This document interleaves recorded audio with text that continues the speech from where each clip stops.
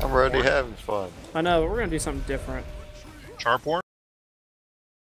I've got secrets that I'm keeping. I've got demons in my head. I've been hoping to stop thinking, and the past would just stay dead. Just stay dead.